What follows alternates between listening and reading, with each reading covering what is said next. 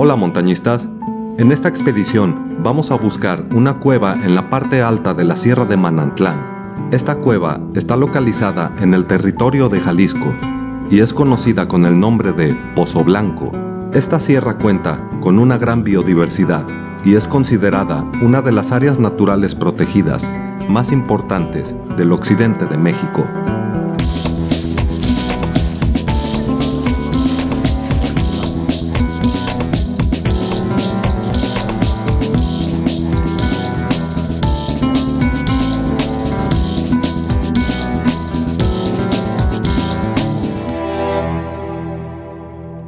Para llegar a la parte alta de esta sierra, subiremos por el camino rumbo al terrero. Es un tramo de 15 kilómetros. Instalaremos el campamento en el área conocida como Los Troncones. Dentro del poblado El Terrero, los habitantes tienen muchos servicios para atender a los turistas, como cabañas, recorridos guiados, artesanía, productos que ellos mismos producen y mucha comida al estilo artesanal. En el mes de agosto, tienen un evento muy interesante llamado la Feria del Hongo. Próximamente les voy a presentar esta feria en otro documental. Por lo pronto, vamos a degustar de todo lo que nos ofrecen en esta cocina.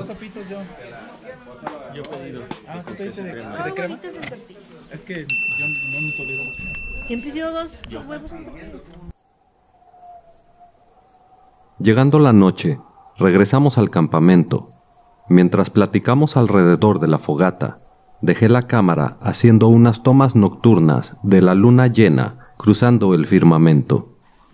Al día siguiente desperté muy temprano, encendí la fogata para calentar el café. Mientras tanto, esperé a que se despertaran mis compañeros.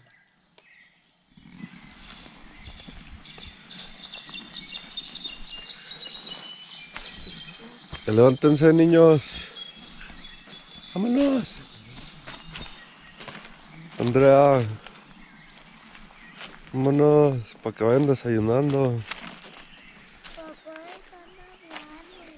Vámonos. ¿No quieres ir a caminar? ¿Eh? Vámonos. ¿Ya? Sí. Sí. No, para pararnos, desayunar o acá un cafecito y tenemos que recoger las cosas para irnos para allá. A, caminar. Sí, tenemos que levantar todo. Esta zona de los troncones tiene ese nombre por las enormes bases de los árboles talados que aún se pueden ver aquí. Todos los árboles que podemos ver en esta imagen son producto de una reforestación. Llegó la hora de iniciar la caminata. Nos esperan 5 kilómetros aproximadamente por recorrer este laberinto de senderos en el bosque. Para caminar en esta sierra se ocupa de un guía local, ya que no hay señales o letreros, y dentro del bosque es muy fácil perder el rumbo. Manantlán significa lugar de montañas en náhuatl. Se le dio este nombre por ser la principal sierra de captación de agua de lluvia en la región y que provee de este vital líquido a más de 500.000 habitantes por la forma del relieve de sus montañas. Cuenta con una gran cantidad de dolinas, cavernas, pozos y resumideros.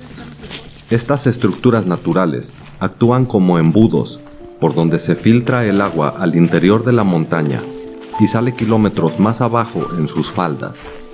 Un dato interesante es que se inicia la conservación de la Sierra de Manantlán en la década de 1970 por el descubrimiento de una planta endémica que es considerada el ancestro vivo más antiguo del maíz. Su nombre común es chapule y su nombre científico es Sea diploperennis. Porque estaba del otro lado de las piedras. Ya lo encontré, acá está. Ahí de ese lado está el hoyo. Pero. Eh, ¿Eh? El, no, de la cueva. La cueva. Vamos a dar la vuelta por ahí, por ese lado. Sí. ¿O por aquí? Pues igual.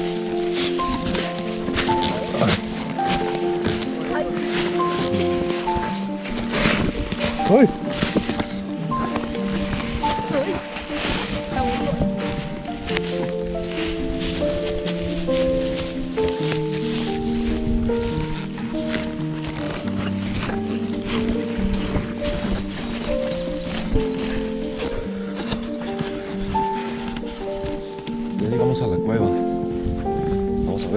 La escalera, a ver si no está podrida.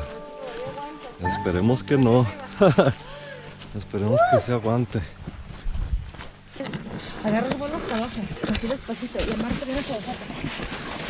Llegamos al lugar donde está la cueva. Mira todo.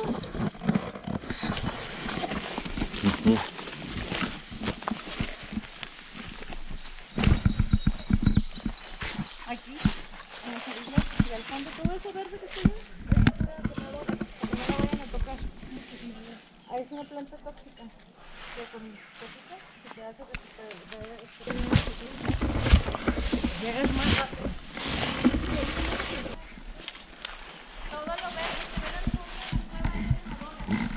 Está, está lleno de quemadora, ¿eh? No agarren plantas.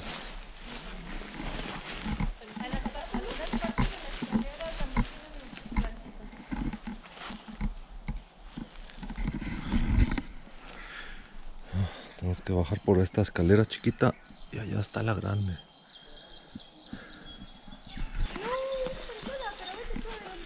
A ver. Ahora que encontramos el lugar, tenemos que revisar si es seguro bajar por esta escalera antigua de madera. La, la quemadora está acá abajo, está ahí en las orillitas, ahí estaban unas. Mientras me acomodo el equipo, les comento, este tipo de formación geológica se le llama dolina, que es una depresión en la tierra formada por la disolución de la roca, creando una caverna en la parte inferior. Después de un tiempo, el techo se derrumba y queda al descubierto como esta que vemos aquí. No, pon- no pongas la mano ahí, porque si te caes no tienes cómo. Deja ver cómo está esta madre.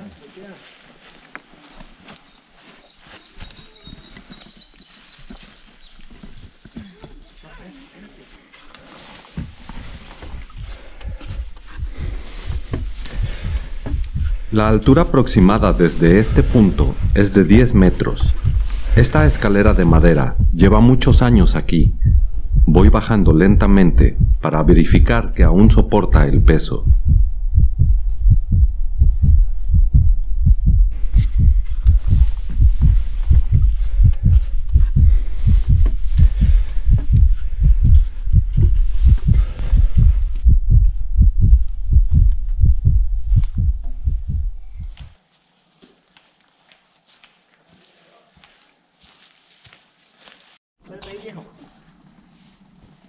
Esta parte donde colapsó el techo de la caverna está tapizado de ortigas, así que tenemos que caminar con cuidado para que no toque nuestra piel.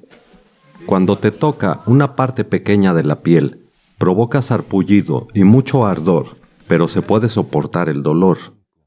Pero si llegas a caer encima de ellas, no me quiero imaginar cómo puede terminar de inflamado uno y el dolor que tendría que soportar. En esta ocasión me traje todas las lámparas que tenía disponibles para acomodarlas en el casco y poder ver con mejor detalle el interior de la cueva. Ya, ya casi llegas a la mitad. Está bien, de uno por uno. Ahí quedó la super lámpara. A ver si no te va a faltar luz. No, es que la vez pasada no pude grabar, ahorita sí vine para grabar. Nada más vinieron y se metieron y no grabaron. Sí grabé, pero traía una sola lámpara, no iluminaba bien. Realizo una prueba de las lámparas antes de ingresar a la cueva. Keira, Keira, pisa. Ahí sí puedes pisar. Ahí está. Traigan lámparas, ¿eh? Porque no se ve ni madre. Me avisas cuando tengas Hay un tus tomas chingo de, de. ¿Es normal? sí. Hay una entrada buena, buena. Tomas. Vamos entrando. Miren cómo está. Ay, hay mosquitos, se me van a meter a la boca. Chingue su madre. Espera. Un chingo de mosco. Sí. Así. Ey. Ahora sí, moscos, háganse para allá. me platicaron una historia de los acontecimientos dentro de esta cueva. Me comentan que los antiguos pobladores de la sierra, no hace muchos años, tenían eventos festivos dentro de esta caverna. Quiero pensar que dichos eventos tenían algún motivo ceremonial o religioso, porque no he encontrado algún rastro o evidencia de esto. Una teoría que yo tengo es que este lugar fue utilizado por los indígenas que vivían hace cientos de años por aquí. Esta no es la única cueva en la zona, existen muchas más y varias aún sin descubrir. La mayoría de ellas son pozos verticales y algunos de hasta 70 metros de profundidad. En su interior se han encontrado piezas prehispánicas, como ídolos y alfarería.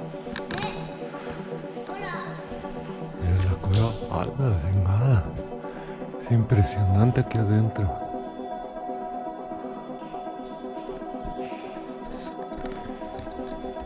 Escuchan los sonidos del agua gotear.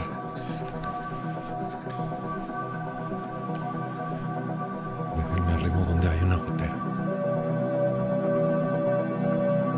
Dentro de esta cueva he encontrado muchos restos de alfarería o tepalcates y algunos huesos tallados. Esta cueva anteriormente fue habitada por nuestros antepasados. Vivió aquí alguna cultura indígena. Y dentro de la cueva hay restos de barro. Déjenme les muestro unos. Aquí ahorita hay un pedacito.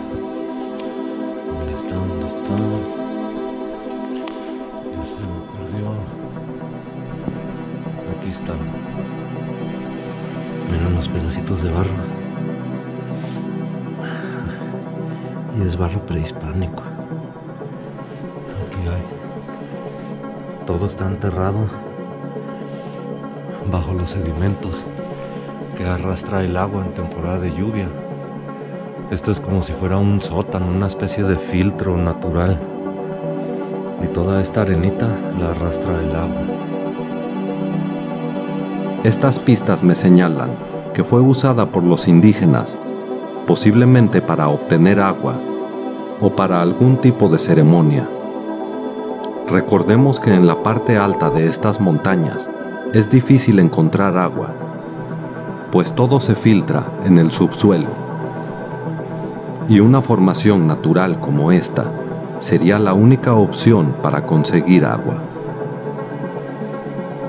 Extraño estar aquí adentro. Hace mucho frío, aunque no lo crean. Miren estas formaciones. ¡Wow! Tan increíble. Todo el suelo de esta caverna está formado por sedimentos muy finos que la lluvia va arrastrando al fondo. Estos sedimentos tapan las salidas hasta llegar a crear un suelo impermeable.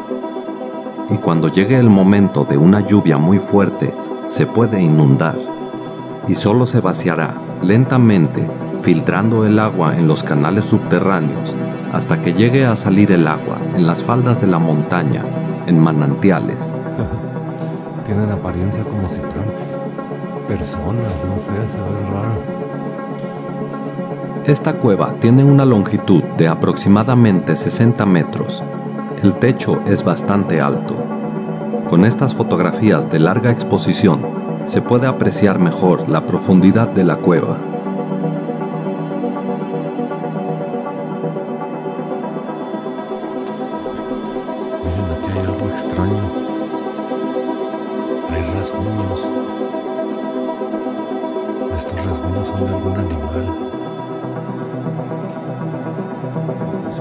Terminamos de explorar la cueva de Pozo Blanco. Llegó el momento de salir.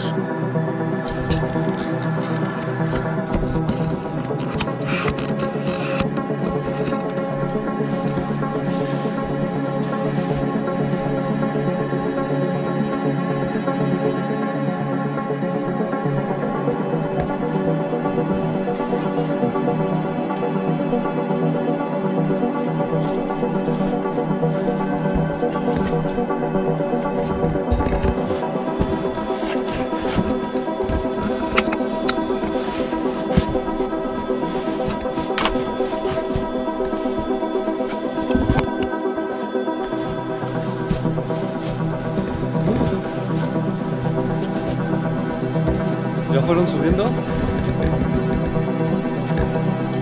Espero te guste este documental. Próximamente buscaremos otras dolinas que están en esta zona. Mientras tanto, estamos consiguiendo el equipo necesario para poder descender. La entrada a esta dolina fue fácil, pero en las otras se tiene que ingresar con descenso por cuerdas.